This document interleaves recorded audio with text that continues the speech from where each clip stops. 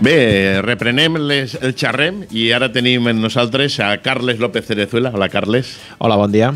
Eh, Carles és un, bueno, banda d'amics, soci de SICOM i persona de llarga trajectòria. Tinc que dir que va ser dels fundadors de, de SICOM, eh, quan ens reuníem encara en bars i coses així. I, i bueno, pues ell té una trajectòria molt interessant, eh, personal i professional. Eh, va renunciar a una sèrie de, de comoditats com és el treball de bancari i, i bueno, pues des d'aquest moment no ha parat de ser un generador de propostes, eh, de, jo sempre li dic de, de, de pensar fora de caixa, no? perquè sempre és un visionari, que eh, si s'atreviu le podeu seguir en la seua, en els seus blogs, en les seus twitters en les seues pàgines, que ara després le preguntarem, però avui l'hem convidat sobretot per a parlar de lo que és l'acceleradora y del Valencia Digital. Y bueno, pues benvingut, Carles, contamos coses. Hola, què tal? Que te presenten com a visionari és una cosa ja després te genera una responsabilitat. Però bueno, parlant de l'acceleradora, en realitat eh, de lo que se trata és de no, de no de visionari, sinó de tindre en compte que el futur es pot planificar. Vull dir, l'acceleradora implica accelerar una cosa que succeiria de manera natural eh, d'una altra manera, però que planificada segurament tindria moltes més oportunitats de ser sostenible al llarg del temps. No, no sé si voleu l'acceleradora la, l'acceleradora d'usos digitals del valencià, que té un nom així molt llarg i, i difícil de reduir, però la, li anem a dir l'acceleradora, en realitat el que trata és d'això, vull dir, eh, la creació de contingut en valencià així com és pionera en estudiar-la, eh, per, lo que, per la informació que em vas enviar ahir, eh, José Ignacio, sembla que hi ha moltíssima gent eh, i, molts, i col·lectius estructurats, que és eh, l'estructura formal eh, associativa del País Valencià, eh, és, ha sigut capaç de veure la importància que té eh, l'entorn virtual per a una llengua, vale? i per tant pues, ja n'hi ha trobada de podcast, trobada de eh, com anem a pensar l'espai de comunicació, tenint en compte que en, en la trobada esta que se va fer eh, explica-la tu, perquè estic sí, mencionant sí. coses que, que... Luego, porque además como tenim a Juan que no sap si aplega, do... igual sí que nos dona temps, però parlamos de ese acelerador porque, bueno, primer aceleradora.org és el, la forma de. Sí, és el domini. Anem a veure, per a la gent més major, això és molt fàcil. La gent que veia Fama, bé, pues és, el que hem muntat és una acadèmia de creativitat. Bueno. Fama era una sèrie com uh, Juncales Millennial o... o... No, Generación Z. Gener Generación Z. Bé, Fama era una sèrie que feien a, al migdia i que anava d'un grup de persones amb talent, el que seria ara el batxillerat artístic. Vale? Val. Bé, eh, bé, en realitat és això i un poc més L'acceleradora, una acceleradora eh, en termes d'empreniment i de startup, el que implica és fer que una cosa eh, puga créixer no exclusivament de manera orgànica, sinó d'una manera mínimament organitzada, orgànicament organitzada. És a dir, eh, posa l'exemple. Quan jo tenia... Jo ara tinc 50, per posicionar les persones que ens estiguen escoltant. Quan jo tenia 20, començava la música en valencià. Vale? Al principi d'un ecosistema creatiu, siga el dels videojocs o siga el de la música o siga el del cine, al principi només n'hi ha persones eh, voluntàries que tenen una inquietud creativa i que tenen una necessitat expressiva, ¿vale? i s'estructuren al voltant d'amistats, intuïcions, coneguts. Ahir, per exemple, escoltava una entrevista en la que el grup este de publicitat que ha fet una sèrie per a Filminara que es diu Putos Modernos, eh, en realitat es va conèixer una nit eh, de festa. ¿vale? És a dir, quan un ecosistema creatiu... En, tots, en tots els territoris n'hi ha, diguem-ne, gent creativa en el País Valencià especialment, hem de pensar que eh, eh, una, eh, hem generat una espècie de llegenda d'autoodi de, de poble no estrictament, però la veritat és que, per exemple, la meitat de les llicències musicals de tota Espanya són valencianes.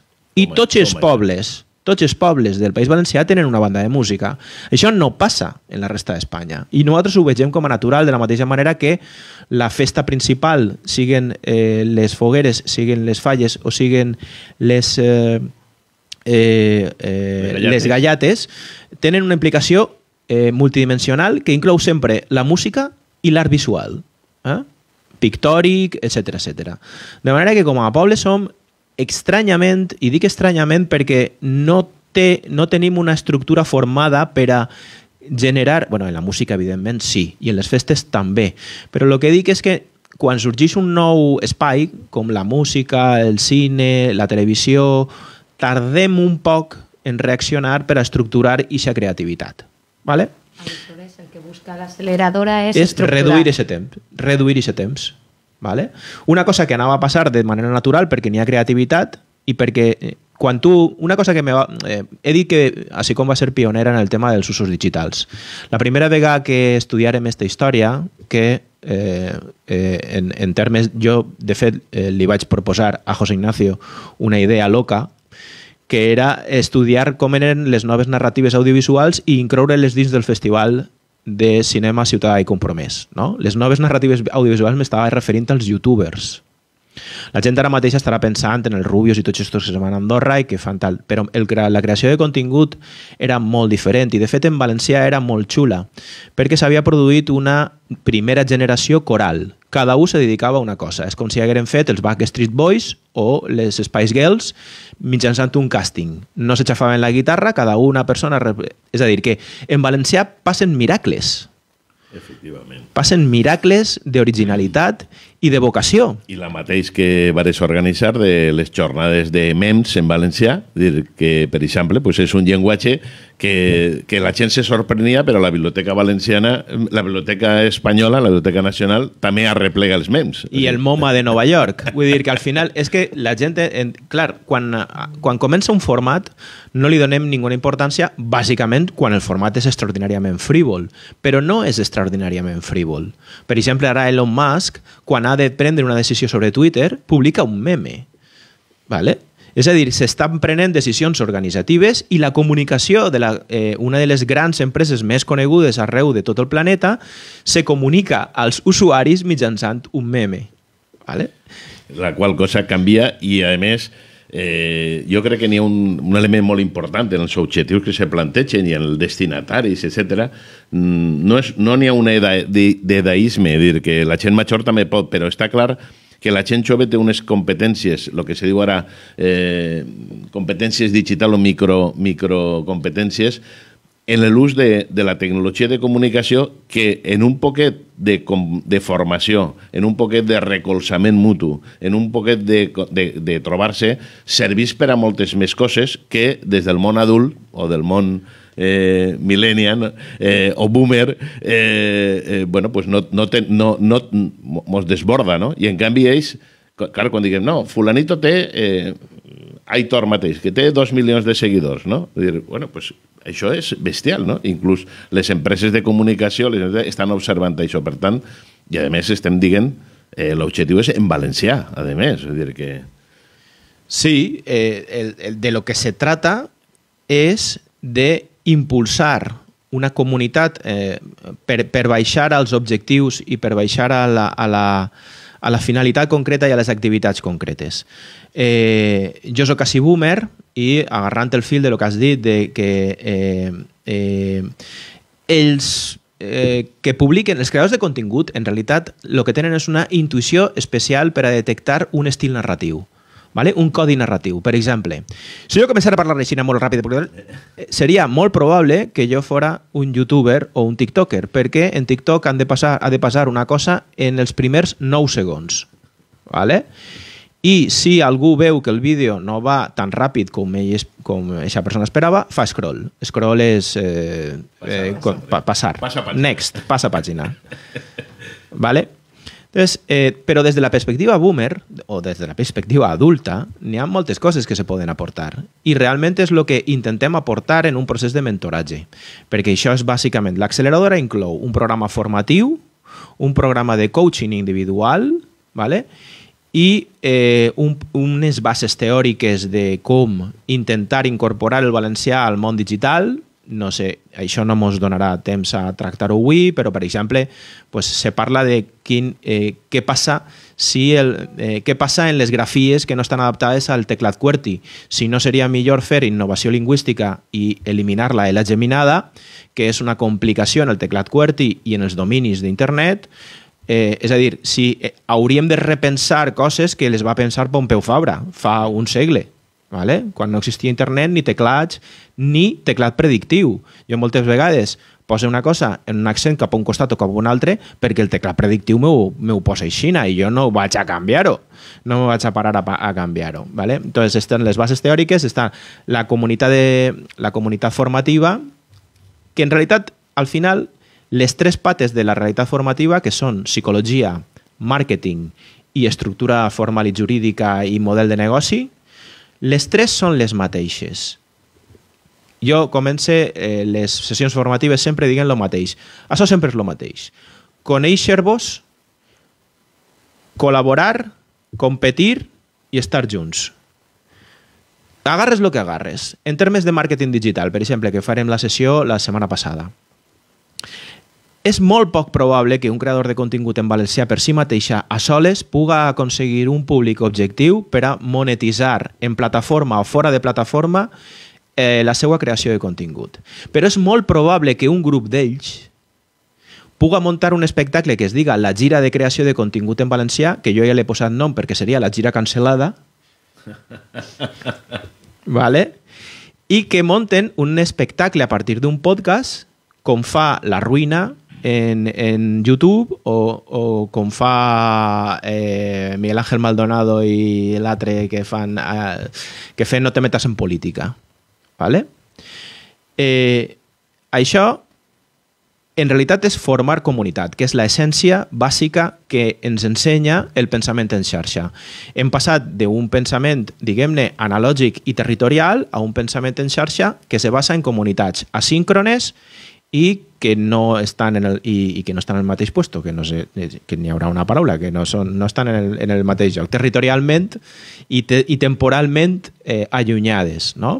Entonces tu crees una comunitat i aquesta comunitat té més possibilitats de crear una massa crítica, que es diu en termes d'economia, per a produir una mínima monetització compensatòria per a estructurar una indústria de la mateixa manera que se va fer se va estructurar la indústria de la música en valencià Vale? Jo recorde quan només estava pues, Obrim Pas, Arthur Caravan, eh, Orchata Sound System, cada un era d'un també un altre miracle, que, música electrònica, música rock, música... Vull dir que sempre tenim miracles valencians. ¿vale? Entonces, des del punt de vista del màrqueting digital, seria que entengueren que en comunitat som més poderosos, des del punt de vista de l'estructura formal i de la gestió de projectes i de la monetització i dels diners i de, i de tot això, és més fàcil també partir d'una estructura formalitzada perquè tot està pensat per a tindre una estructura formalitzada i quan dic tot m'estic referint a facturació, eh, ingressos, despeses, eh, tot està pensat...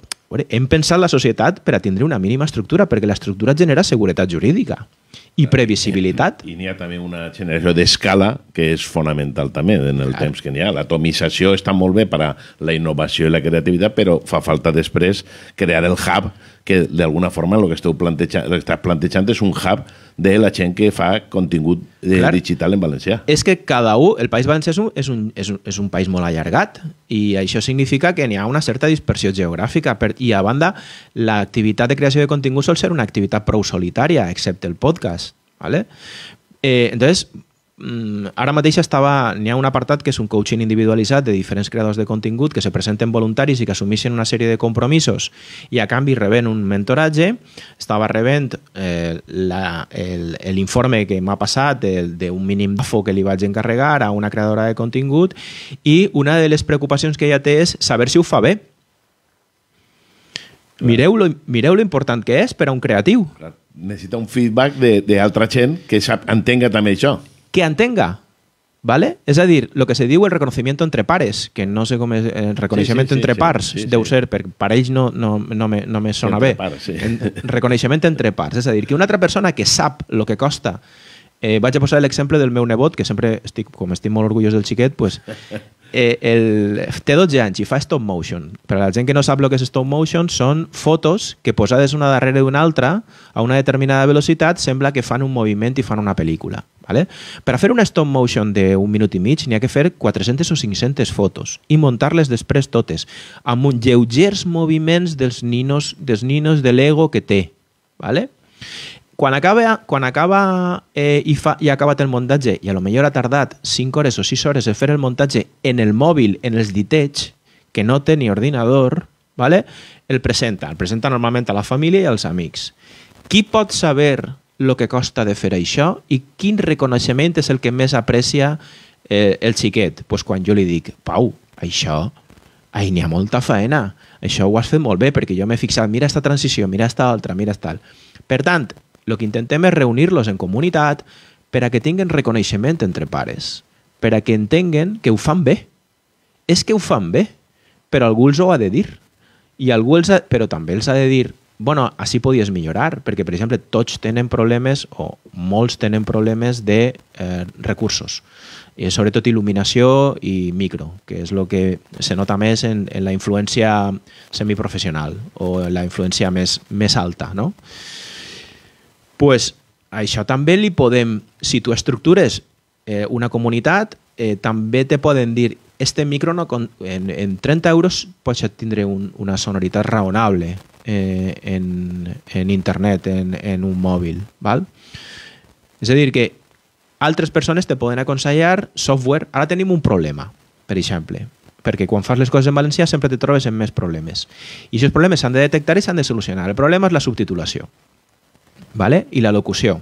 La intel·ligència artificial, que va aparèixer en febrer i ha esclatat bàsicament aquest estiu, molt, de forma molt bèstia en termes audiovisuals, en aquests moments en castellà, en Spanish, te permet subtitular un vídeo de manera automàtica. Eh? En valencià no. I tots els que veieu que estan fent el contingut i que l'estan subtitulant, l'estan subtitulant a mà, paraula a paraula, frase a frase. La cosa és molt complicada. Heu vist que la intel·ligència artificial te permet parlar en diferents llengües, eh, això ha eixit eh, fa un mes en una pàgina que es diu Heigen, que eh, permet, eh, diguem-ne, utilitzar la teua veu, clonar-la i parlar en qualsevol idioma. Això, des, eh, diguem-ne, destrueix directament això de fer-ho en castellà perquè t'escoltarà més gent, perquè ho podràs fer en anglès, en alemany, en francès eh, i clonar el contingut. Val? És el mateix vídeo, el passes per una intel·ligència artificial i la teua pròpia veu parla en una altra llengua. Ja està. Pots decidir si tinga, que tinga accés natiu, accent natiu o que tinga el teu accent, que és brutal ja, vale? per, a, per a ser més versemblant. Un clar exemple va ser Messi. Sí, l'anunci de Messi. Anunci de Messi. Bé, eh, Carles, mos quedem, mos quedem sense temps, encara que Juan no, no s'ha connectat encara, però a veure, per què li digueu accelerar 2030? És un horitzó? És un tema de ODS? Perquè, no, perquè és, sí, perquè n'hi ha pressa. N'hi ha, 2030 eh, pareix que estiga... Parlem de 2030... Com si fora... Clar, quan se va fer l'agenda 2030 semblava lluny. I estem ahí ja. Però estem en el 2024 d'ací tres mesos. Efectivament, a sis, vale. a sis anys. Vale? És que as, en, això va molt ràpid. Molt bé. Apareix la intel·ligència artificial, és, és urgent. El tema d'internet és urgent. Eh, eh, és més urgent la transmissió generacional des del punt de vista lingüístic, però el posicionament digital de la llengua, que és molt raonable si tenim en compte tot, si tenim en compte tot el domini lingüístic, és a dir, tota la comunitat lingüística. El valencià barra català és una llengua ben posicionada i que sempre, i que sempre ha sigut eh, pionera tant en la Wikipedia com en els blogs, com en la informació, que VilaWeb va, fer, va ser un dels primers mitjans en, en constituir-se de manera exclusivament electrònica, de manera que n'hi ha un bon posicionament, però les coses van tan ràpid que eh, farem una acceleradora. Efectivament. Bé, eh, dir-vos que eh, ja s'ha ja fet una actuació presencial la setmana passada, no teníem programa i no podíem anunciar-ho, N'hi ha una propera presencial el dia 7, a les 10 i mitja del matí, del mòdul de psicologia, creativitat, itineraris vitals, etc. I luego tenen dos sessions online, el dia 19 i el dia 26, per la vesprà, 5 i mitja. Uno és el mòdul de ferramentes, software, model lingüístic, ús de la IA, la intel·ligència artificial, i altre mòdul organitzatiu, finances, contractació amb administració, creació de projectes socials, etc.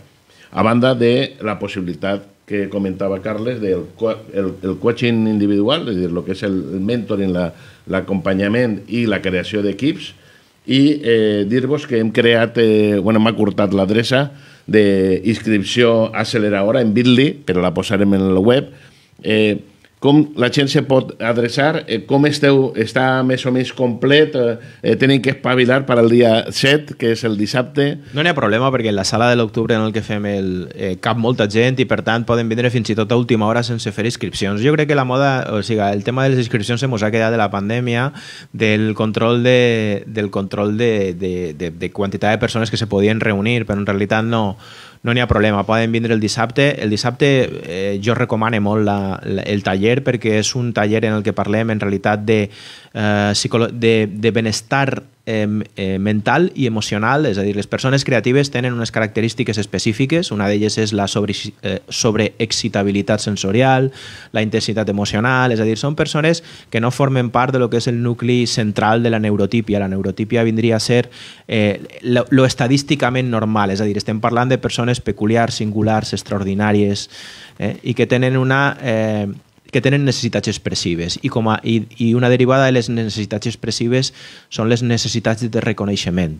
I les necessitats de reconeixement generen eh, diguem-ne moments de molta intensitat emocional cap amunt i també cap, cap avall, avall eh? i cap avall. I passes per èpoques i per eh, una de les coses que parlarem el dissabte per exemple és què passa quan no se m'acudís res i per què no se m'està acudint res. I probablement és que necessites avorrir-te vale? o necessites eixir a que te passen coses, perquè la gent no escriu llibres del no-res. I, no, I a més això és en tots els tipus de creació, perquè lo de les muses dels claro, escriptors, claro. el tindre un sistema per enfrontar-te davant de la pàgina en blanc, és, ha, en tot. N'hi ha dues maneres d'afrontar-ho. O eixir al carrer i que te passen moltes coses, o avorrir-te tant que només se t'acudixen coses. Vale? Entonces, el dissabte és, una, és un taller que val per a, per a, per a moltíssima gent, eh, siga, eh, bueno, sí, que evidentment han d'entendre com a mínim eh, el valencià per a seguir el taller, però que és un, un mòdul de, de coaching creatiu eh, jo crec que molt valuós, perquè hem de pensar que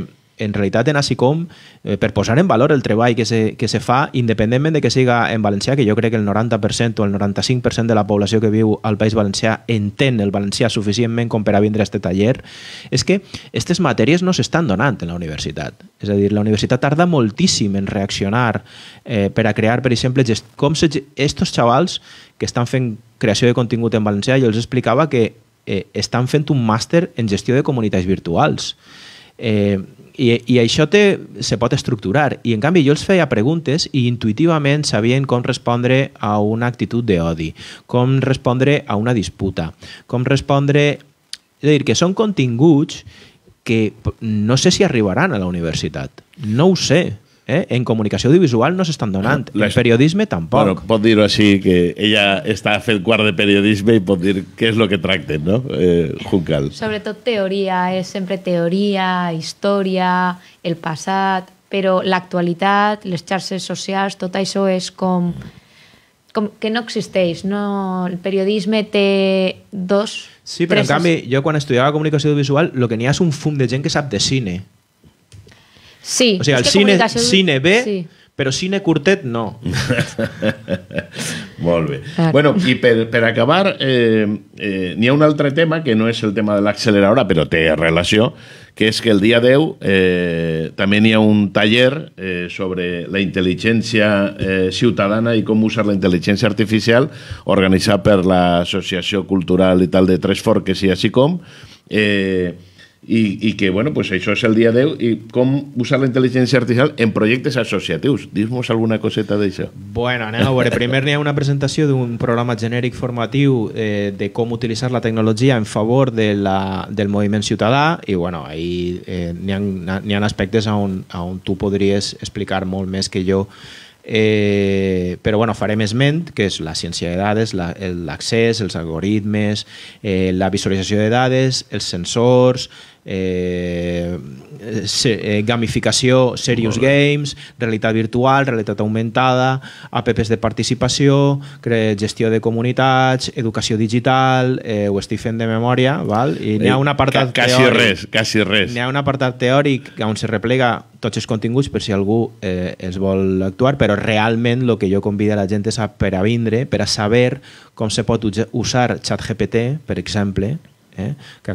I, o DALI, que és la intel·ligència generativa, utilitzarem segurament DALI perquè és més fàcil, perquè en Stable Diffusion n'hi ha que entrar en Discord, n'hi ha que saber instal·lar Discord, n'hi ha que saber entrar en un canal de Discord, n'hi ha que saber fer massa coses i al final l'únic que n'hi ha que fer és aprendre a fer prompts. Un prompt és una instrucció que se li dona a una intel·ligència artificial i a partir d'ahí pues, ensenyarem, per exemple, com fer eh, com una cosa eh, tan fàcil com fer verificació ciutadana, eh, que una altra cosa que eh, pues, eh, com fer diferents formats, com demanar-li a ChatGPT que faça un projecte complet associatiu en unes determinades característiques, en, eh, que posa metodologia, que posa objectius, que posa... Ho fa tot, però el primer que donarem i el primer que direm i el missatge que m'agradaria que se quedara així és que la intel·ligència artificial no és gens intel·ligent. Mm -hmm. És a dir, li has de donar instruccions precises, molt precises, si li dius que fas una llista, farà una llista. Si li dius que fas un assaig, farà un assaig. Si li dius que fas un resum, farà un resum.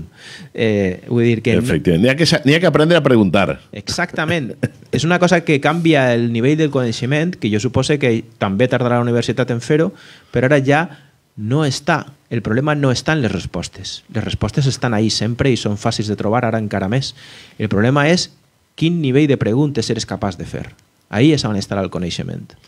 Carles, pues un plaer. Eh, diguem el telèfon per a fer la inscripció en esta última activitat del dia 10 a les 7 i mitja de la vespre, que és el 644 39 53 65. Repetís, 644 39 53 65.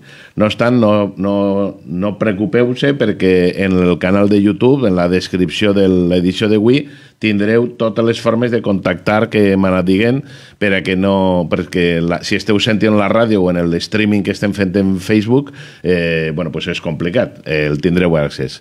Moltes gràcies, Carles. Eh, Moltes què vols gràcies. afegir? Què vols afegir? No, no, ja, ja, ja. Bueno, eh, eh, com, com veieu, hem muntat una acceleradora perquè parle molt accelerat. Eh, no, no, és que, és que el temps és, és molt, molt, molt complicat i... Accelerat. I he Tant vingut... que ha arribat una hora abans.